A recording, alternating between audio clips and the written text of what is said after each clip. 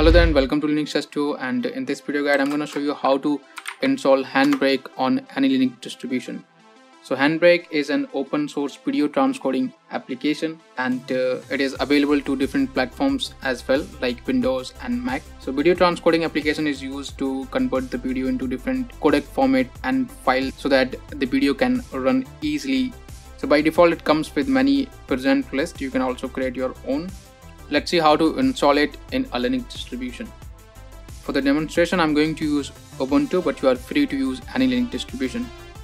First of all, you want to go to the handbrake.fr. This is the official website for Handbrake application. Here you can simply go to the download section and uh, inside the link section, you will find two options to get the Handbrake the one is using the Ubuntu PPA. So if you are using any Ubuntu or its derivative, then you can use the PPA to install Handbrake in your system. Second, you get the Flatpak. So Flatpak is supported by default in almost all the Linux distribution. Ubuntu does not comes with Flatpak support. And if you want to install the Flatpak support in Ubuntu, then you can check out this video guide. This will help you to do that. In this guide, I'm not going to use the PPA here because PPA does not works with all the distribution. I mean, most of the distribution has support for PPAs, third-party PPAs, but some of them not. And you can not use these PPAs on a RPM-based distribution. For that, you have to download the .rpm file and install it manually. And that you can download from packages.org. I'll provide the link below on how to download the .rpm file for Red Hat family and how to install that RPM file into the system. You can also get the .deb file from here that you can install into Debian and Ubuntu based distribution. Simply select the version and click on this handbrake gtk.deb file and install it manually. As I said, I'm going to use the Flatpak in this video guys because Flatpak is supported into almost all the distribution. So just click on this download 64-bit and from here you will be able to download this Flatpak version of the application. Simply save the file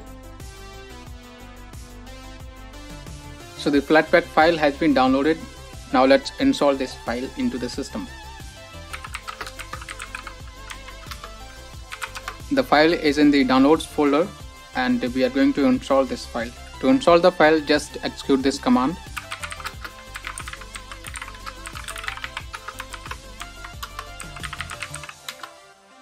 This will ask for the password, type in the password and say yes to the Flatpak. Now again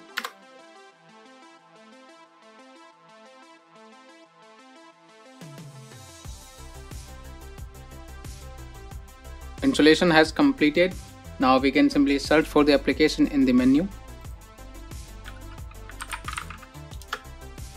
And here is the Handbrake. So this is the latest version that we have.